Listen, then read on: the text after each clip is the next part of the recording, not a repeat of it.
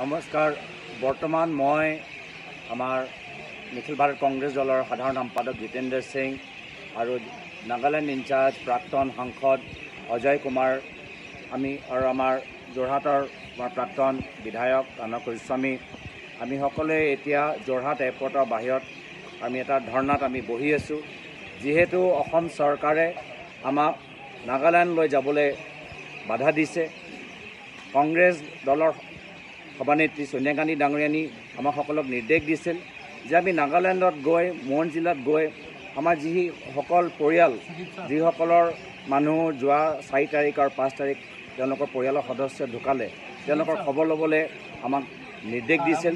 কিন্তু গৃহমন্ত্ৰী অমিত শ্বাহ ডাঙৰীয়া অসমৰ চৰকাৰ অসম চৰকাৰৰ মুখ্যমন্ত্ৰী হিমন্ত বিশ্ব শৰ্মা ডাঙৰীয়া গোটেই লোকতান্ত্ৰিক প্ৰক্ৰিয়াটো ধ্বংস কৰিবলৈ বিচাৰিছে আৰু আমাক ইয়াক বাধা দিছে। আৰু সেই বাধা বিৰুদ্ধে আজি আমি সকলোৱে ধৰ্ণাত বহি আছোঁ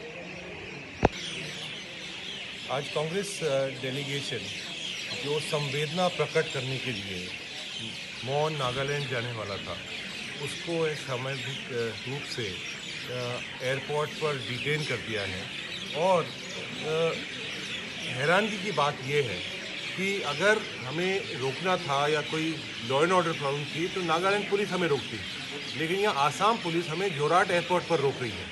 ये साफ़ दर्शाता है कि इसमें कुछ ना कुछ छुपी हुई बात है और हमारा डेलीगेशन पर्दाफाश करता, सच्चाई को सामने लाता, इस देश को सच्चाई लाता और वो दिवंगत आत्मा है, उसको कम से कम एक सुकून मिलता।